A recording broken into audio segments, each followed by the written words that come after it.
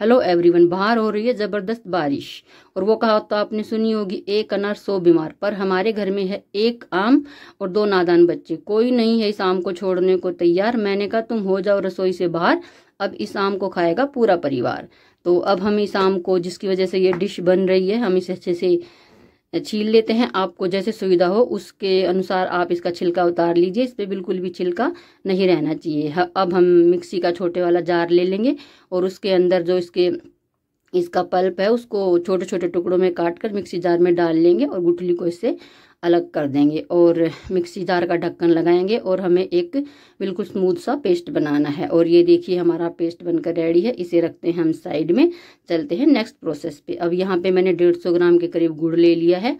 उसे छोटे छोटे पीसीज में कट कर लिया है। अब मैंने इसमें टू टेबल स्पून के करीब पानी डाल दिया है और अब इसे गैस पर रखकर हमें इसे इतना पकाना है जब तक कि गुड़ मेल्ट हो जाए। और जैसे ही गुड़ मेल्ट हो जाएगा, इसे हम ठंडा होने के लिए रख देंगे। और जैसे ही ये ठंडा हो जाएगा, रूम टेम्परेचर पे आ जाएगा तो हम इसके छलनी में से छान लेंगे ताकि इसके अंदर कोई गंदगी हो तो वो बाहर निकल जाए।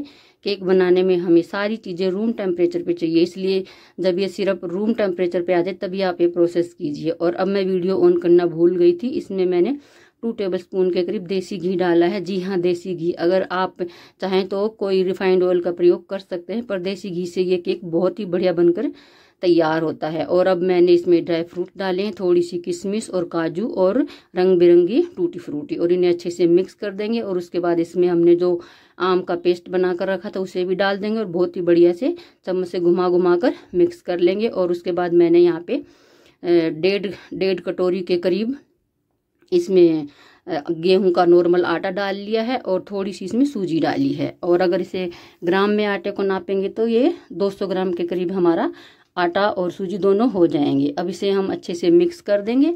बिल्कुल, और ये जो गेहूँ के आटे का केक बनता है ना, ये थोड़ा सा इसका जो बैटर है, गाढ़ा ही रहता है। अगर बहुत पतला बैटर हम कर देंगे तो ये बहुत टाइम लेगा बनने में और टेस्टी भी नहीं बनेगा। लेकिन अभी ये मुझे थोड़ा सा गाढ़ा लग रहा है तो इसके अंदर में अब हम पानी डालकर इसकी जो कंसिस्टेंसी है, इसको मेंटेन करेंगे। आप चाहें तो यहाँ पे दूध से भी मेंटेन कर सकते हैं। पर मैंने पानी का इस्तेमाल किया है और पानी डालकर ही मैंने इस इस घोल को तैयार कर लिया है और इसकी कंसिस्टेंसी आप देखिए थोड़ी सी ज़्यादा गाढ़ी ही होती है। और अब हम इसे 10 मिनट के लिए रख देंगे ताकि हमारी सूजी और जो आटा है वो फूल जाए बढ़िया से। और जिस बर्तन में अब हम इसे बनाएँगे, आपके पास केक टिन है तो केक टिन ले लीजिए, नहीं तो कोई बर्तन ले लीजिए।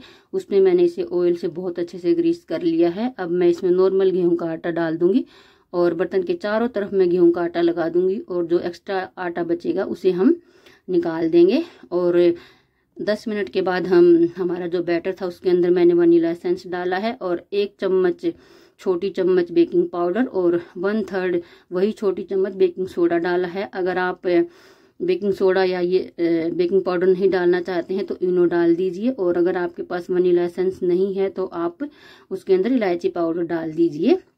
तो भी ये केक बहुत बढ़िया बनकर तैयार हो जाएगा। और अब इसे हम ज़्यादा मिक्स नहीं करेंगे, बस तीनों चीज़ों को इसके अंदर बहुत अच्छे से मिक्स कर देना है। और फटाफट से तैयार किए गए केक टिन में हम इसे डाल देंगे और एक बार इसे अच्छे से हिला लेंगे, यानी कि टैप कर लेंगे ताकि इसके अंदर कोई भी एयर बबल ना रहे। और अब इसे मन चाहे ड्राई फ्रूट से गार्निश कर लेंगे। आप चाहें तो इसे प्लेन भी बना सकते हैं बट ये प्लेन बहुत ही स्वादिष्ट लगता है। लेकिन अगर ड्राई फ्रूट डालेंगे थोड़ा सा और हेल्दी बन जाएगा और देखने में भी ये शानदार दिखेगा। मैंने यहाँ पे काजू को दो टुकड़ों में कट कर लिया है, लगा दिया है और थोड़ी सी किशमिश लगा दी है और कलर टूटी फ्रूटी को इसके ऊपर डाल दिया है। आपको जो ड्राई फ्रूट पसंद है, आप डाल सकते हैं। अब मैंने कुकर में थोड़ा सा नमक डाल दिया था, उसमें एक स्टैंड रख दिया था और और मीडियम फ्लेम पे 10 मिनट के लिए से गरम कर लिया था। और अब पहले से गरम किए गए कुकर में हम केक टिन को रख देते हैं। 40 मिनट्स के लिए लो टू मीडियम के बीच में गैस को रखेंगे और 40 मिनट्स के बाद मैंने इसे चेक किया था।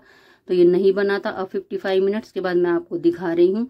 एक नहाया धोया हुआ सा चाकू उसके अंदर डालेंगे। अगर वो बिल्कुल नहाया धोया ही वापस बाहर आ जाए, यानी कि गंदा ना हो तो इसका मतलब है हमारा केक बनकर रेडी है। और इसके अंदर जो किशमिश थी वो देखिए, बिल्कुल फूल के कुप्पा हो गई हैं। और जो हमारा केक है आधे से ज़्यादा फूल गया है। मतलब बहुत ज़्यादा फूला है ये केक। अब इसे कपड़ा इसके ऊपर हम ढक देंगे ताकि इसके ऊपर की जो सतह है वो टाइट ना हो और इसे आप कपड़े से ही ढकिएगा। किसी प्लेट वगैरह से मत ढकिएगा, नहीं तो हमारा केक गीला हो सकता है।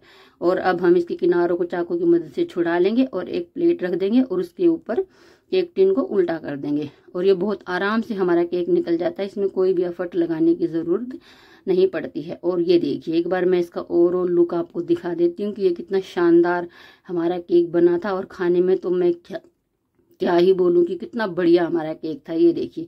हाइट आप देखिए इसकी, कितना मतलब बढ़िया हमारा केक फूला है और जाली आप देखिए, नज़र आ रही होगी। और ऐसे लग रहा है जैसे इसे फटाफट से खा लें, लेकिन उससे पहले मैं एक नज़र आपको अच्छे से दिखा देती हूँ चारों तरफ़ से कि ये कितना मतलब मस्त हमारा केक बना था और इसकी सुंदरता, वो कहते हैं ना, मन को मोहने वाली कि अभी बोल उठेगा, ऐसा हमारा केक बना था।